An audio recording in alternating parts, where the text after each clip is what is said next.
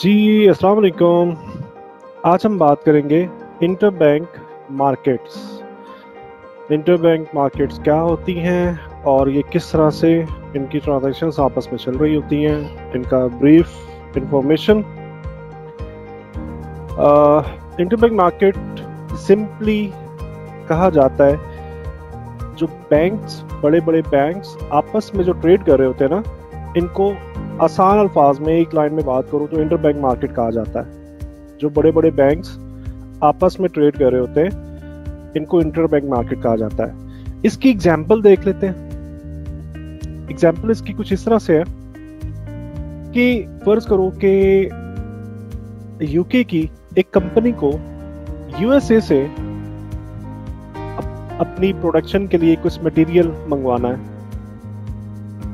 USA की company payment जो है वो डॉलर्स में ही रिक्वायर करती है, ठीक है? इस वजह से यूके की कंपनी को अपने सेंट्रल बैंक के पास जाना होगा या किसी भी बैंक के पास जाना होगा पॉन्ड्स को यूएसडी में कन्वर्ट करने के लिए।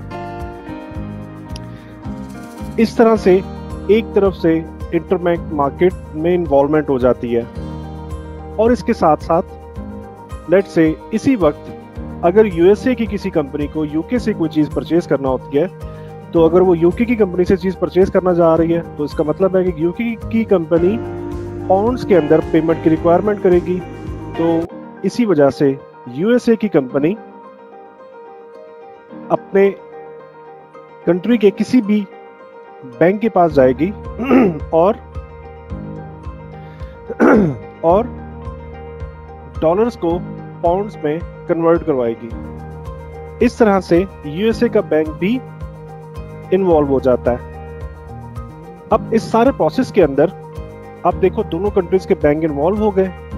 इस तरीके से ये आपस में ही ट्रांजैक्शन कर लेते हैं। और एक बहुत ही आसान सी मिसाल समझा दूँ, जैसे हम फंड ट्रांसफ़र कर रहे होते हैं किसी और कंट्री के अंदर, जैसे हम फंड ट्रांसफ़र करते हैं, या आप लाइक like, यही मिसाल ठीक है कि जैसे आप किसी भी कंपनी में आप डॉलर्स की ट्रांजेक्शन करते हो या आप किसी भी मुल्क में किसी भी करेंसी के अंदर ट्रांजेक्शन करते हो तो उसके बैक एंड के ऊपर जो प्रोसेस चल रहा होता है ना उसे कहते हैं इंटरबैंक मार्केट्स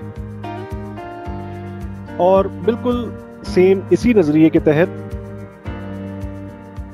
फॉरेक्स मार्केट के बैक एंड के ऊपर इंटर बैंक्स इन्वॉल्व होते हैं.